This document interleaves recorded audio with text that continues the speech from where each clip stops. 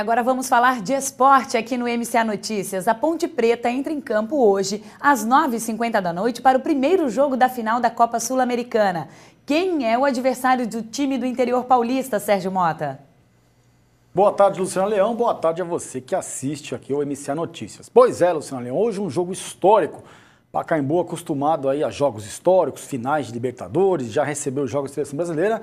Hoje um jogo histórico, aí final da Sul-Americana, o time de Campinas, a Ponte Preta, o time mais simpático, está vendo imagens da Ponte Preta que se preparou muito aí para essa competição, vai receber o técnico Jorginho ali, que já declarou que a Ponte abandonou aí, está rebaixada para a Série B do Campeonato Brasileiro, mas tem essa última possibilidade de poder participar da inédita Libertadores da América. 113 anos de história, um dos clubes mais antigos do Brasil e a Ponte Preta nunca havia participado aí de um torneio internacional. O primeiro, exatamente, é esse aí, a Copa Sul-Americana e a Ponte aprontou, viu? Desclassificou o Vélez Sarsfield, time forte de tradição argentino lá dentro também da Argentina e desclassificou o São Paulo no Morumbi, vencendo por 3 a 1 de virada. Então o histórico da Ponte Preta é bom. O adversário também não é um, adversário qualquer, é o Lanús da Argentina, um time também que desclassificou o Libertar do Paraguai, vencendo dentro e fora de casa. Então vai ser difícil.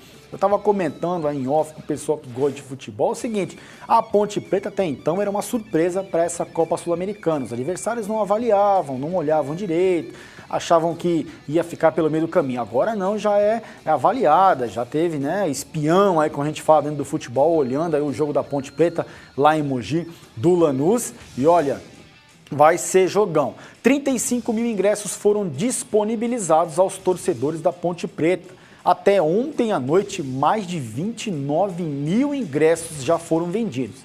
A diretoria da, da Ponte Preta aí solicitou mais 10 mil ingressos aí para poder ver se vai caber todo mundo, porque vai lotar realmente hoje o Pacaembu. Amanhã nós vamos passar os gols aí de Ponte Preta e Lanús. E daqui a pouquinho no programa Sport News você vai ver também o treino do Lanús que já chegou no Brasil. Olha as imagens aí, ó. Daqui a pouquinho você tá vendo aí, ó. O time do Lanús já chegou ao Brasil, já foi fazer o reconhecimento do gramado, fez apenas um aquecimento leve. Ó lá, tudo cara de argentino, né? Tudo brabo ali, cara de argentino querendo ganhar. E já fizeram o reconhecimento do gramado, daqui a pouquinho você vai ver mais. Bom, ontem também, ó lá, os caras fazendo o reconhecimento aí, deitando, né? Relaxando por causa da viagem. E ontem também foi lançado a bola oficial da Copa do Brasil 2014. Copa no Brasil de 2014, né? Copa do Mundo. É a Brazuca. Vamos ver então como é que foi essa festa de lançamento. Vamos lá?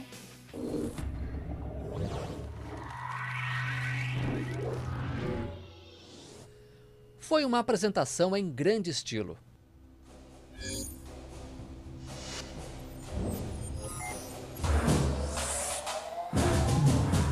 O mundo conheceu na noite desta terça-feira a Brazuca, a bola que vai rolar nos gramados brasileiros na Copa do Mundo de 2014. A festa de lançamento no Rio de Janeiro reuniu craques e artistas. As cores da Brazuca são brilhantes e vibrantes, assim como nosso estilo de futebol e a nossa maneira de ver a vida. O design reflete as faixas de pulso usadas aqui no Brasil e as estrelas na bola são uma, uma referência à bandeira nacional e ao status do Brasil como campeões da Copa do Mundo da FIFA. Uma bola fantástica.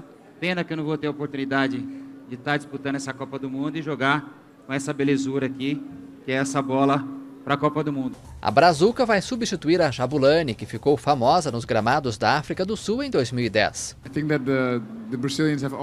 Eu acho que os brasileiros sempre expressam uma energia incrível em todas as Copas do Mundo. Durante a Copa das Confederações, sentimos a energia dos torcedores brasileiros.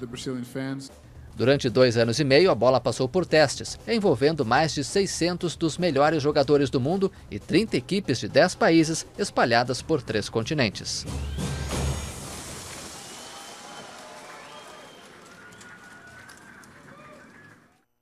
Essa aí é a bola brazuca. Muitos aí falaram das cores, muito colorida, tem nada a ver laranja na bola, mas Tá aí a bola brazuca que a Adidas, que é a patrocinadora oficial desde 1970, ela bota nome nas bolas aí, a Telecaster, a Etrusco e outras bolas, Jabulani, né, como você viu ali, também agora a Brazuca. Bom, mais detalhes do esporte daqui a pouquinho, meio-dia 45, daqui a pouquinho coladinho com TV, com o MCA Notícias. Volto daqui a pouco com mais notícias. Até daqui a pouco.